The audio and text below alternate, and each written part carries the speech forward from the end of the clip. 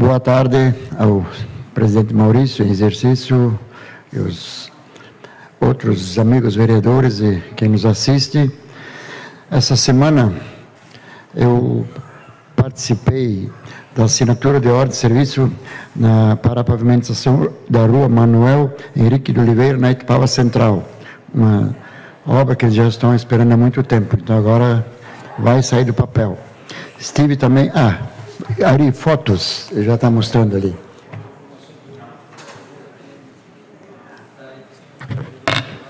Aí também estive na inauguração da área nova da padaria Bublitz, na Itupava Central, do meu sobrinho Anderson, que está administrando hoje em dia. O Erno, meu irmão, deve estar feliz pela iniciativa deles para ampliar, para atender bem a população da região e dos turistas que passam diariamente ali. Aí participei também da entrega da pavimentação da rua Elza Mete, em Salto do Norte, uma obra também muito importante porque tem indústrias com cargas pesadas e coisa, então sem o asfalto ficava difícil para eles. Então também participei dessas, dessa inauguração ali. Foi bem legal ali, pessoal bem para frente, para ampliação e bastante empregos. O, o Ito também estava presente ali, então acho que foi ele que mais encaminhou esse troço ali para os proprietários, ele foi o intermediário.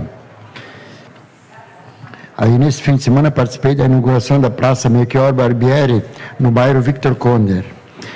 Aí quero parabenizar o prefeito e a vice-prefeita Maria Regina, e todas as secretarias envolvidas. A praça ficou realmente um espetáculo, ficou linda. Valeu a pena ir lá participar dessa inauguração. Tem as fotos aí, ali.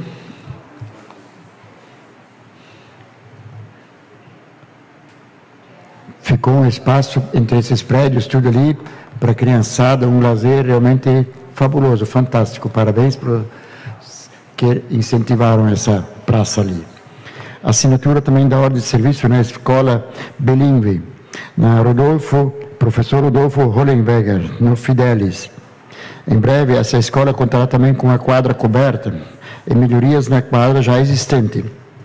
Quero também agradecer ao prefeito Mário e a vice Maria Regina, o secretário de Educação Alexandre Matias, pelo trabalho que vem desenvolvendo nas melhorias, reformas do ensino do município de Blumenau para o bem-estar das nossas crianças. Aí Ari mostrou as fotos, então, obrigado. pode, Pode falar, amigo Ito. Autorização do vereador, ou se do vereador Ito. Vereador Rolf, é, parabéns por essas imagens importantes. São é, futuras obras, obras que já aconteceram, importante que a gente também prestigie. Falando da Elza Met, rua Elza Met, Alf, a importância da pavimentação dessa via. Eu digo a importância que ali naquela via tem sete, oito é, empresas, mas a última empresa, essa que o senhor citou, a Protect ali, onde foi feita a assinatura é, da, da conclusão da via, essa empresa, ela hoje ela gera 55 empregos no local e mais uns 40 indiretos. E essa empresa estaria indo sair de Blumenau.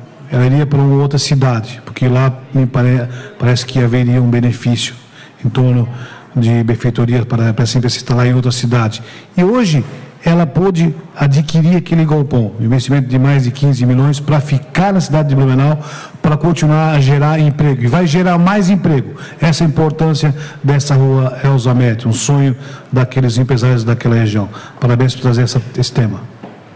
Muito obrigado, Ito. Não, realmente, ah, é um pessoal que realmente está investindo e é um material lá que precisa de caminhões de peso. E aí, sem asfalto, não tinha condições. E agora conseguiram isso ali. Então, valeu é isso aí hoje.